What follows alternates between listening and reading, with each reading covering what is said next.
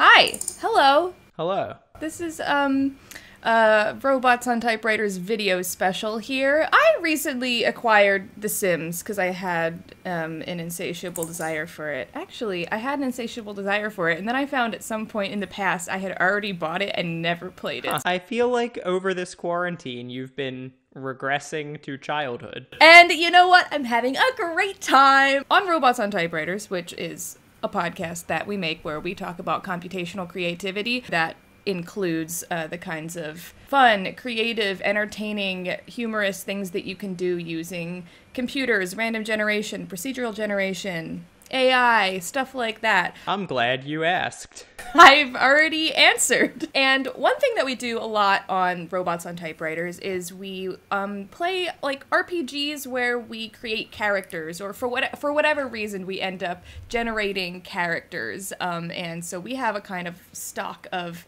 characters that we have made and sometimes return to because uh, because we love them, all of them equally, obviously. Incorrect. It's absolutely correct. If you say otherwise, you're fired. I thought that it might be a fun thing to do to kind of apply our character generation process to uh, Sims and make some people, maybe make some of our pre-existing characters and see what they do, see how things go. What What do you want to do first? Do you want to? Do you want to? I think we should make a new person. Yeah, I think yeah we should show what this character creation process normally looks like for us on the podcast, and then this character will for the first time come like fully fleshed with an appearance. Normally we have like a description of an appearance, but I think having an actual visual to go with the character that we're like imagining the same character, uh, that'll be that'll be something fun. Usually, we use as a base, like a, a just a foundation, is a site called npcgenerator.com. Because I, I, also want to do something that's more kind of like letting a, a AI tool kind of run with it. Let's let's do two characters. Okay, so let's start with um, let's just let's do our regular kind of NPC generator situation first. I've got it up already. I hit the random button a few times, the generate button. I I may have cooked the books a little bit to guarantee a certain trait. Uh, that is fine. I was going to require that you do that anyway. We have a type, and it's gay. Our boy's name is Leo Frick Cornwallis. Is Leo Frick one name? Leo Frick, uh, L E O F R I C K. Okay. Cornwallis. I already like him. Yeah, he is a 41 year old male human bandit. Oh my god, I haven't even read the whole thing yet. You're gonna get yourself ready. I'm ready. He has a bald head and green eyes. All right. I hate a bald head. That's no fun. F- listen, listen. Go with me on this bald head. You're gonna love the way he looks, I guarantee it. Okay. All right, he's bald and green now. Perfect. He has soft white skin. Okay. It's a little bright. Can you get rid of his like five o'clock shadow? Yes. Because I feel like that's not soft. I want him to be a perfectly smooth egg. I don't like that, but I guess it's what we're doing. God. He stands at six foot three and has an athletic build. Stands at six foot six, head and shoulders. That's a little repo the genetic opera for you. So he has an athletic build.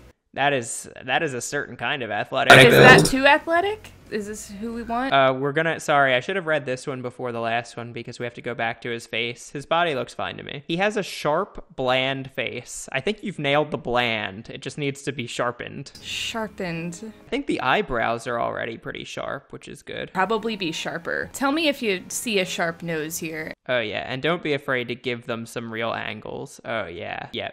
I, I think it fits. I'm actually going to reveal to you. I'm going to skip to the personality traits just to give you this detail. Okay. He is a cross dresser. Okay, okay. What? I thought you would be all about I it. am into it. I don't I don't like the terminology. I'll also add to to this that he is totally oblivious to etiquette and to social expectations. Okay, well there we go. Oh, yeah. Sharpen those eyes. So I'll also add one thing that I don't think either of us will like, but it, it might give us a hint at his voice, actually. He smells of tobacco. Fucking gross. Okay. So I think he's got like a gravelly smoker voice. Okay. Two can accept. You can't hear him, can you? No, I cannot hear him. And I think we got it. He sounds a bit like Harvey Fierstein, so All right, great. I think it's time to dress him. Can you dress him? yeah. absolutely. Dress him honestly too much because I, I hate having to pick all these things, but they don't really matter. We'll just do like a day look and a. If I had abs like that, I would be wearing just that shirt all the time. What else can you tell me about his personality? He is very impatient and he can't stand laziness. He worships the god of sin of the nine hells, okay, that's actually highly. Asmodeus. Yeah, so he's a real bad like boy, a- but he's also completely oblivious. I want to give him a little bit of a goth vibe in that case. Ooh. Ooh, you know what? I actually so that comment is pretty uh pretty good because I forgot one other thing that you're gonna love about him. He is a werebat. You can't see my face, but my jaw is on the ground. I heard it. All right, all right, all right. Yeah, he's a gender nonconforming, oblivious werebat. Did you tell me his sexuality? Is he bi? Oh, he's gay. Okay, okay, And he's single. okay. I'm. I think I'm actually really into this shirt situation here. What can you do for me in the pants department? You know what? I think clothes that are like ripping away is perfect because it makes it easier when he becomes a bat to just be a bat. Of course, yeah. I feel like I always automatically take off Sim's socks. I just, I just don't like them. You just to get more comfortable. Uh, shoes. Something easy to get on and off, I think. Um, that's almost how I would describe those. I think he's a pretty complete character in this sheet that like he has an athletic build and he's like his strength is off the charts. Charisma on the low side. He might need some help finding uh finding a date. I think when we create our next character, we will of course be cooking the books to find him a man. Yes. Where I keep thinking vampire, because wait, what's the difference between a werebat? A vampire can choose to transform. A werebat transforms at the full moon. okay, and has like no thirst. And it's like What's the difference between someone who is a wolf animagus or versus being a werewolf, right? To put this into Harry Potter lore. add more terms. I don't know what Harry Yes. Potter is. I feel very proud of the take like four years ago that we declared Harry Potter does not and has not belonged to JKR. It belongs to us now. It belongs to us, not not us personally, yeah. just us. The thing we took control before people even knew someone needed to take control, and now we're just like default in there. Yeah, we actually took control starting with JKR's Twitter account. You've been running that for years. I have. I. I have not. I will firmly say I have not. I don't want to own that. Let's give him a formal look too. I feel like formal looks are always fun. Now that is not Leo's So, so. All right. I think it's also got to be pretty like, you know, batty. You have any like flowy like evening ga- uh yeah, that's exactly what I was looking at. Yep. Yep, yep, yep. There's definitely some. There's some evening gowns. Let's see if. I like what you picked. It would have to be a strong batty gown to beat that. Yeah, I don't think the gowns are batty enough. Quite honestly, there's. I want like a big. Hmm. I want like a skirt I would wear.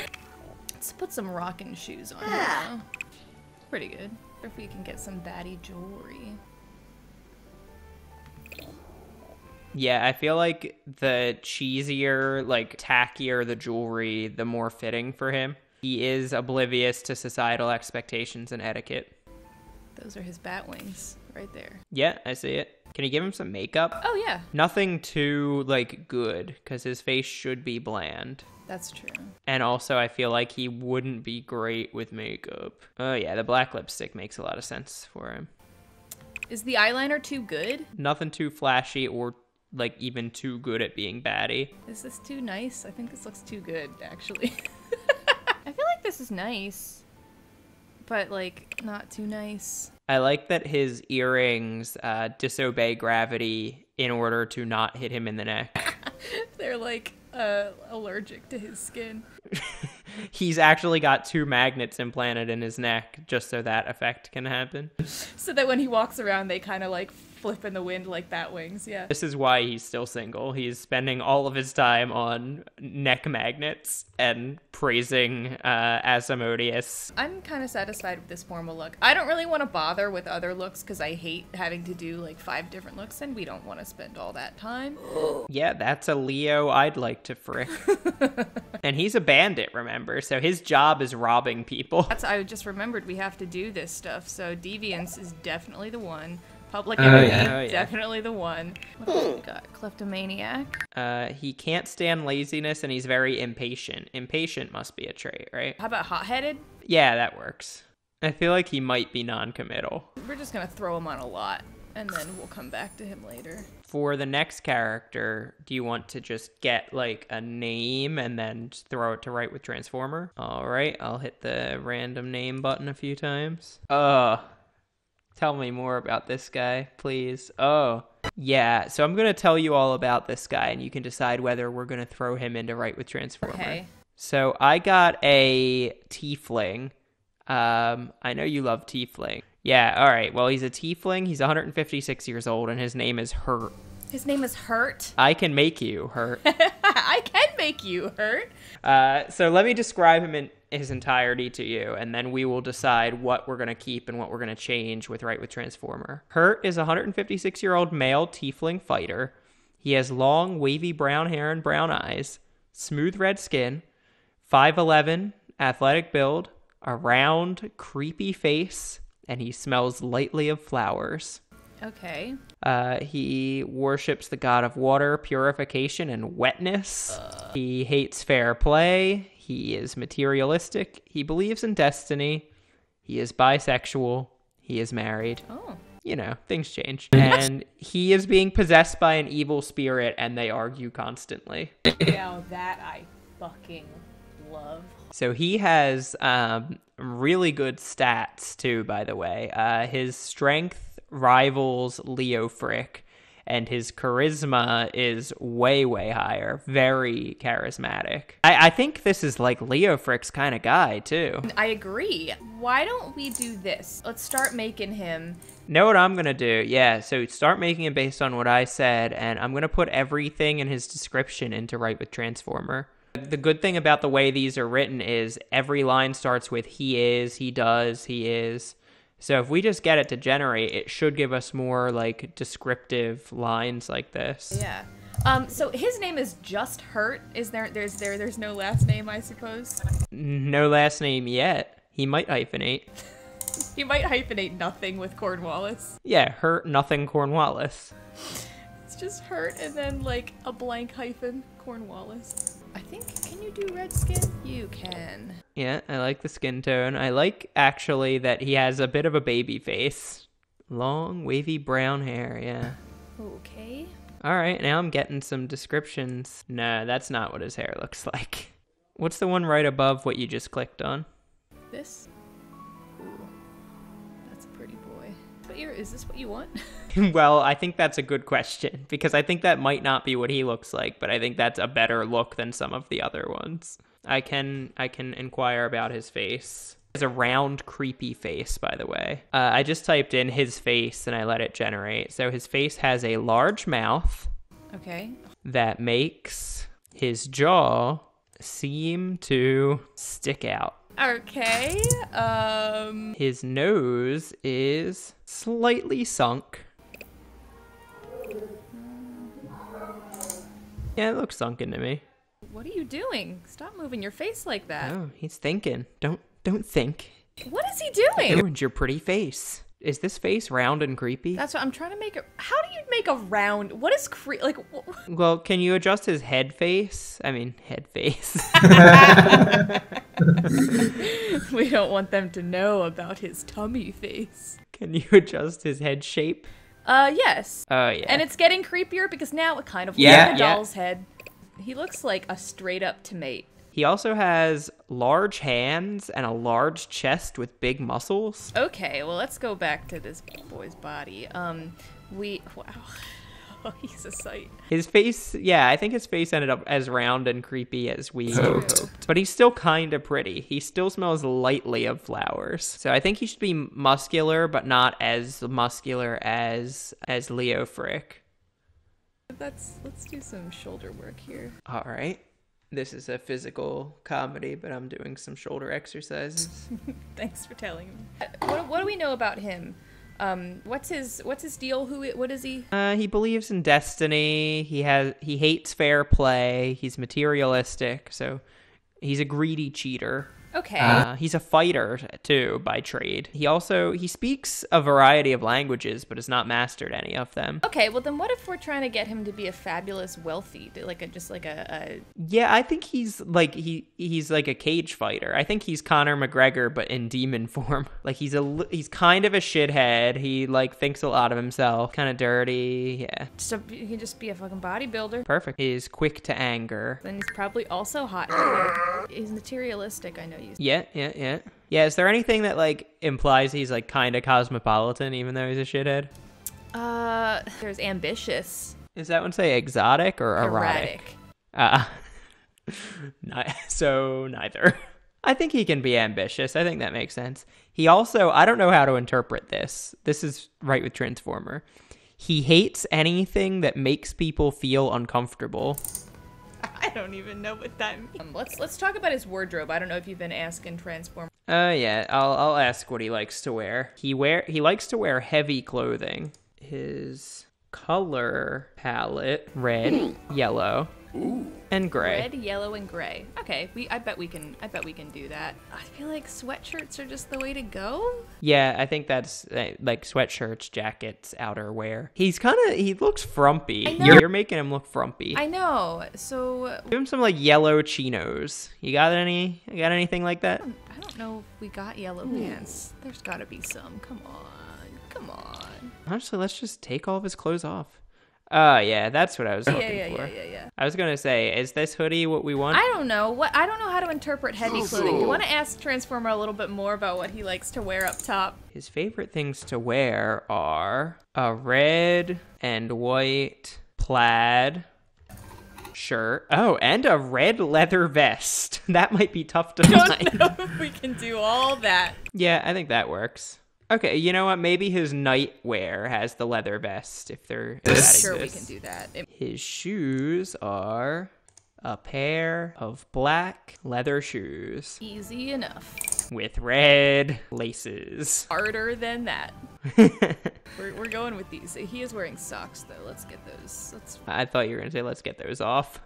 kind of yeah. Um, this actually looks very nice on him. I know this is not correct. Yeah, I actually agree that you you nailed his work outfit. I don't like that he picks tones very close to his skin tone. yeah. oh, that's that's good for him.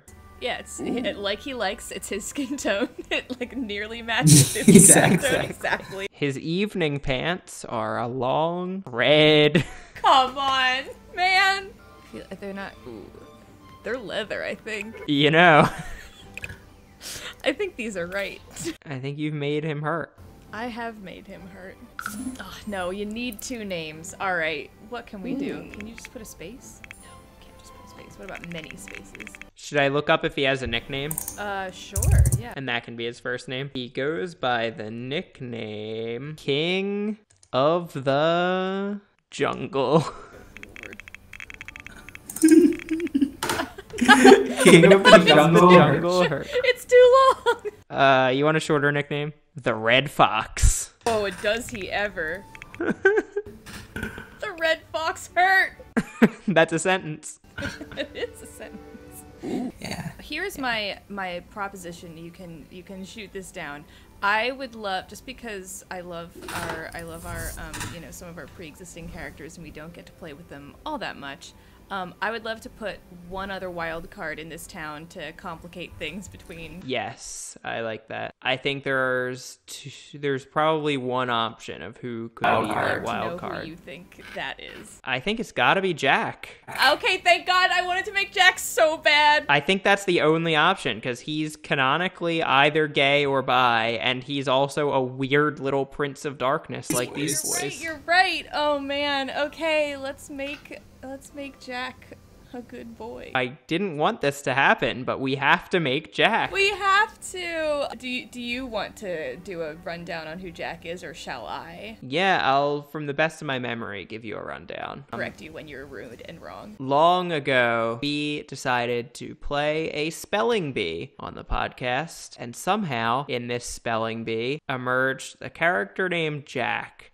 I don't think Jack had a last name, but he might have. But Jack works down at the cannibal factory. Jack is a a very subdued, kind of smooth talking cannibal. Uh, he's very open about the fact that he is a cannibal. He has like a simple brother named like John or Jake. Jake. Jake is his brother's who name. mysteriously have very different voices. That Jake has like kind of a hick southern drawl, and that Jake is like very smooth talking city. Yes. Huh. Yeah. Very good. Hmm, yeah. First of all, why don't let so this is going to be like totally write with Transformer because we don't need anything from a music Yeah. generator. So um, why don't you ask the his last name? Jack the Cannibal. Last name is said to be taken from an old French word for lover of the flesh.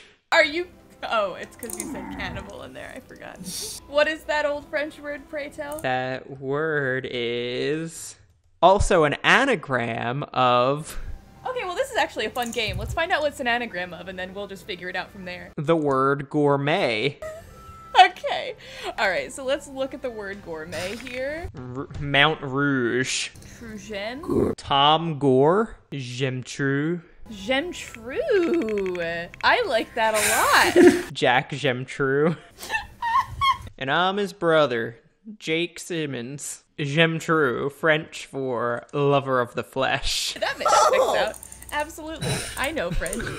I think that Jack is he's like an entrepreneur. He has like a Silicon Valley entrepreneurial sense. Yeah, yeah, he's very like slick businessy guy. Yeah. He's goal driven and he's money driven. He's ambitious. That was the thing, right? Is cannibal in there somewhere? What is he doing? What is his foodie work for you? Yeah, yeah, it does.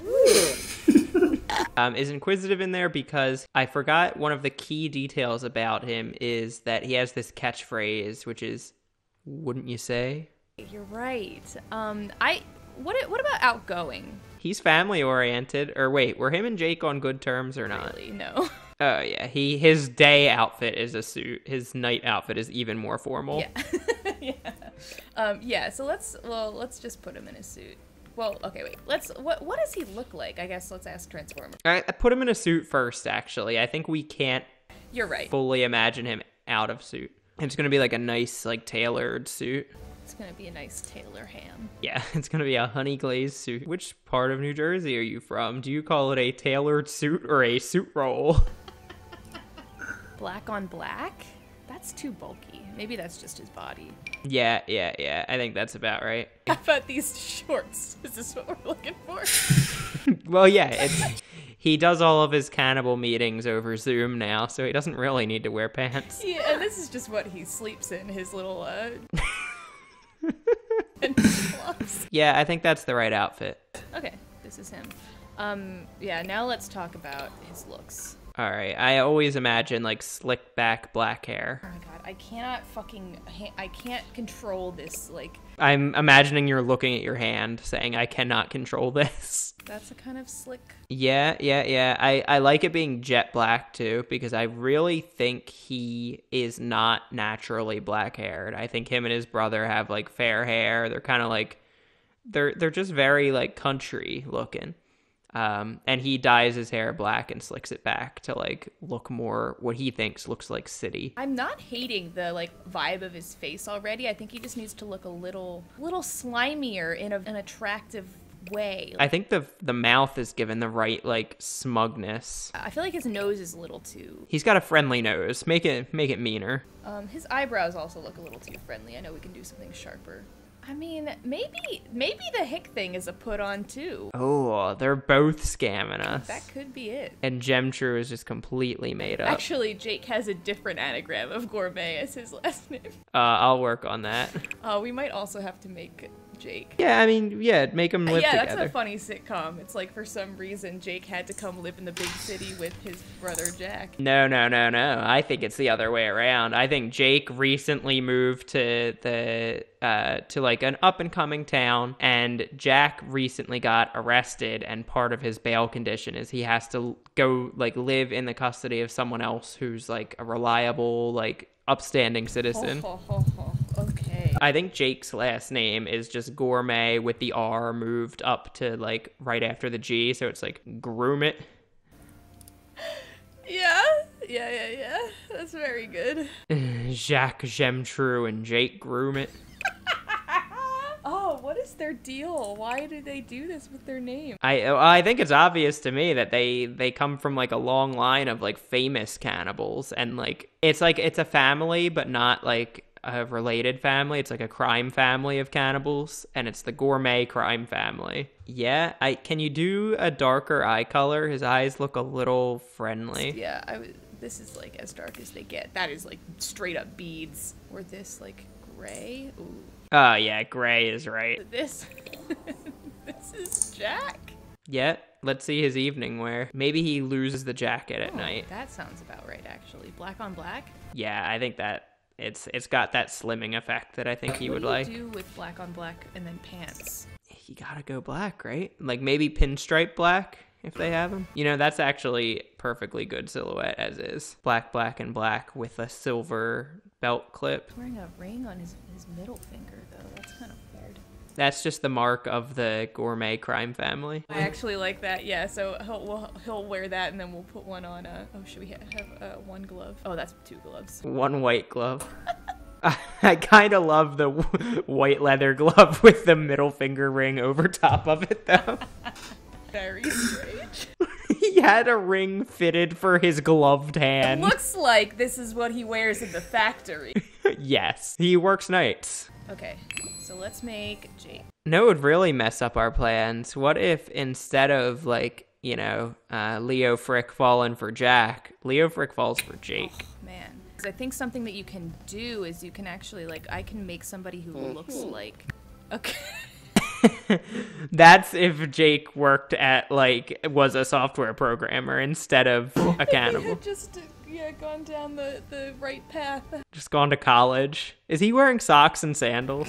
God, I hate this guy. All right, well, it's let's let, let me we can randomize actually. Oh, please. I was going to ask if you could. This is the mo. Okay, awful.